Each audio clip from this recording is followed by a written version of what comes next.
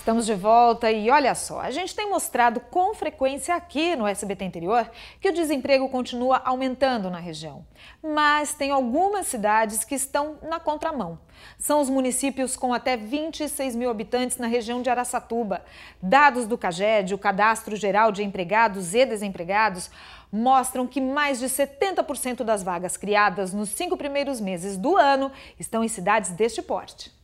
Ela está sorrindo à toa Moradora de Castilho, noroeste paulista, Andréia viajava todo dia cerca de 20 quilômetros para trabalhar em Andradina, mas hoje conseguiu uma oportunidade em sua própria cidade.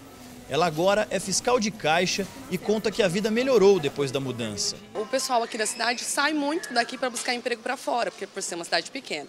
E com isso a gente, né, fica muito feliz que não precisa pegar pista todo dia e tá sempre aqui, vai em casa almoçar tranquila, não precisa se preocupar com ter que ficar se deslocando da cidade que a gente mora. Andréia é apenas uma dos 21 contratados de um supermercado que se instalou no começo do ano em Castilho, que tem quase 20 mil habitantes. Um dos motivos é que um empreendimento puxa o outro e com isso alavanca um maior desenvolvimento da cidade. Essa integração entre empresas funciona como uma rede de relacionamento. Nenhuma empresa ela consegue sobreviver sozinha.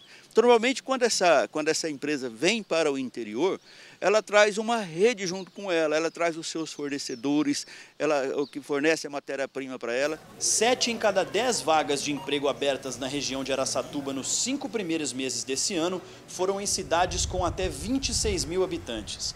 No levantamento do Cadastro Geral de Empregados e Desempregados, Castilho se destacou com 909 contratações, seguido de Pereira Barreto com 606, Valparaíso com 510 e também Clementina com 459 vagas.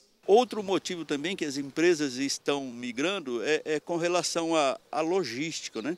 Porque nos grandes centros há um fluxo muito grande de veículos e isso aí muitas vezes atrapalha o escoamento da sua produção, é, aumentando esses custos. E elas fazem isso porque é, com interesse de cumprir a sua estratégia comercial, que é produzir, com, é, produzir mais com menor custo de produção e ter assim uma competitividade.